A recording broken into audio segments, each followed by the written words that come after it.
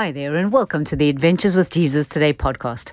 I'm your host, Lisa van den Berg, and today we're going to be talking about breaking spiritual ties. There is a beautiful fundamental truth that Jesus talks about in the book of Mark that we're going to look at today that really helps us to understand that confusing thing that where the Lord asks us to forgive those that have hurt us. And I don't know about you, but it's been one of the most difficult things in my Christian walk to forgive when my heart is still hurt. Um, and it seems impossible. I don't know of the thousands of conversations I've had over the years. It's super difficult to get our heads around this concept. How can we forgive someone when our hearts are still so hurt, or we feel violated, or we feel scared? Uh, you know, afraid to be around that person again. There's the whole issue of boundaries and forgiveness, and it can be a bit confusing. So, um, I've recently just got some revelation about this, talking to some friends of mine who are in the inner healing world and understanding how much God wants us to be free to let Him work in our lives. Right? It's a fundamental principle we talk about a lot on this podcast that God is good and He wants to be good to you. That definition of good is His to define, not ours, but He is a good Father and He wants to be good to us when we let go of what that definition looks like and truly let Him be the awe inspiring creator of the universe, Father God, to us that He is, then we get to see things in a whole new light. So, a friend of mine um, explained it to me this way one day. She said, you need to understand that what Jesus is talking about in Mark 11 25, and I'm going to read it from the Amplified Version, is and whenever you stand praying, if you have anything against anyone, forgive him and let it drop. Leave it, let it go. In order that your Father who is in heaven may also forgive you your own failings and shortcomings and let them drop. And Jesus is pretty stern about this. In verse 26, he says, But if you do not forgive, neither will your Father in heaven forgive your failings and shortcomings. And in essence, the way she explained it to me is that when somebody hurts us, our natural reaction is self-defense or you know whatever our narrative is we might go into a victim mindset uh, we might go into defense we might cringe and try and run away each one of us have the the natural way that we behave towards these things but it literally imagine this with me it literally when something comes to hurt us and we let it take root, it's like we open a door for the enemy to get his foot in. Right? And so when that happens, we've given him the legal right because we are the ones that have will. God gave us willpower to accept good or not. Right?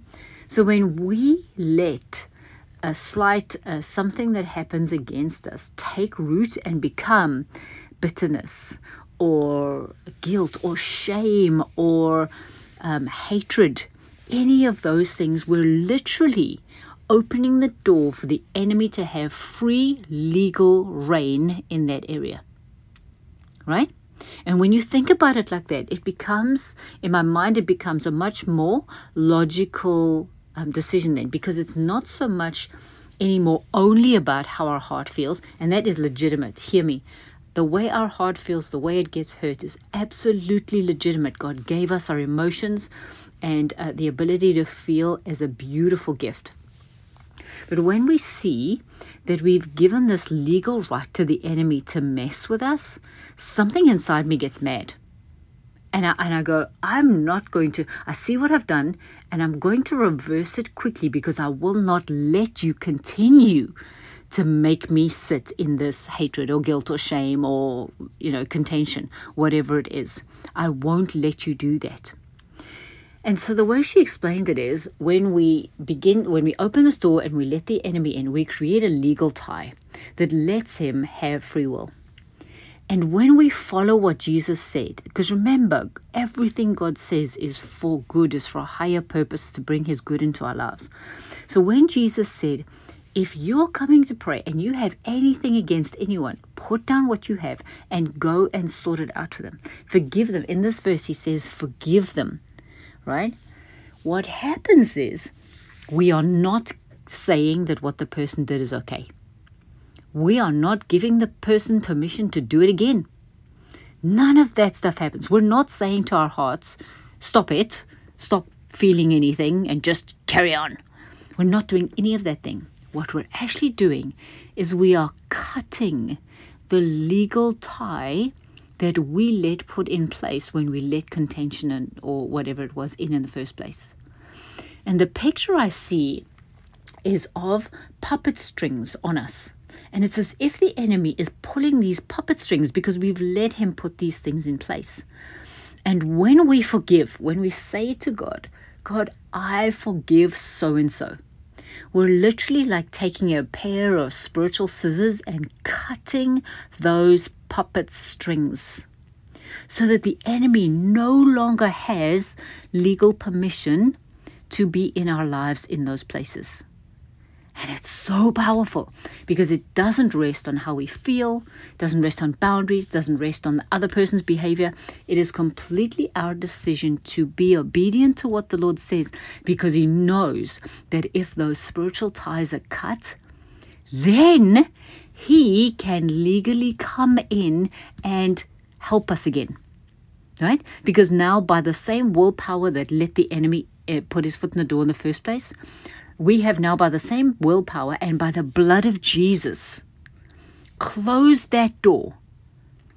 And now, the Holy Spirit, now you invite the Holy Spirit into that place and you say, Holy Spirit, help me to sort out this hurt that I feel. Help me to understand how to interact with this person again. Help me to understand how to let you heal my heart, how to let you comfort me, how to let me walk this out how to see the person that hurt me through your eyes, how to know what kind of boundaries I set, you know, what, what how much of life do I do with them? And let the Holy instead of that being a fear reaction that we take because we were hurt, um, or a self-defense mechanism or a victim mindset, now we actually free God up to work in that situation on our behalf and on the other person's behalf.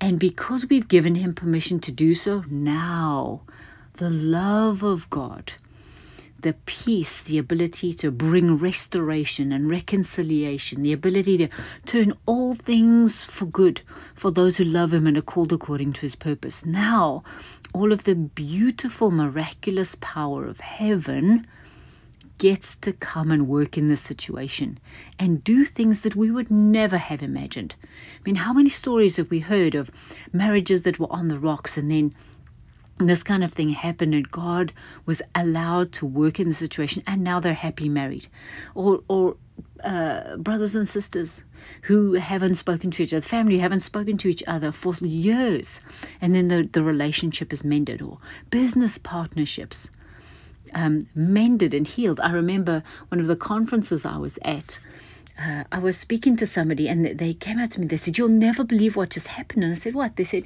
I had a fight with a business partner of mine over a decade ago, and we haven't spoken to each other for a decade. I come to America to this conference. They, they were both from out of out of the country. I come to this conference. I'm sitting in my seat, and before I realize it, I I see that the person sitting in front of me is this ex business partner that I haven't spoken to for 10 years. And he said, I heard the Holy Spirit nudging me and saying, Hey, now is the time to restore this relationship. And he listened to the Lord and he went up to this other man and he said, I want to ask for forgiveness for anything that I did in this transaction and I want to let you know I forgive you. It was the most exquisite thing over the next three days. These men got talking again. They realized what you know they told each other what had happened in each other's lives over the last 10 years they realized how much they'd matured and grown and they walked out of that conference friends because they chose to listen to the Lord and ask forgiveness and be forgiven and let him do what only he could do. How miraculous and amazing that he got them both to come to the same conference and sit one behind the other. He's just truly astounding at how he can bring restoration to a relationship when we let him, when we give him permission to do so. So, I want to encourage you to really investigate this with the Lord and, and ask the Holy Spirit to show you the power of what it looks like to cut these legal ties when when the enemy comes in and tries to get a foothold in the door, that actually the legal tie being broken with him and re-established with the Lord by the blood of Jesus, by the power of the cross, re say to the Lord, please will you help me to sort this out? Allows the beauty of heaven to do what we would never have thought or dreamed or imagined. And it's absolutely beautiful. This is how God gets to do things in our lives that we would never be able to do in our own.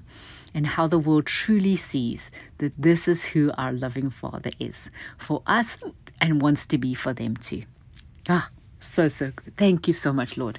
So, Lord, I'm asking for all of us to get this revelation, for us to, to understand how to partner with you, to bring, to forgive to break these legal bonds, to then re-invite you into the situation and let you work in a way that just totally blows our mind with your goodness. I bless each one of us with open ears and hearts and eyes and spirits to hear you clearly, Holy Spirit, to let you help us when these things come along, to not not partner with anything that the enemy is trying to do to kill, steal, or destroy in our lives, but to truly partner with the abundant life that Jesus has given us. Thank you, thank you, thank you, Lord. So, as always, Jesus is inviting you on an adventure today. Will you accept?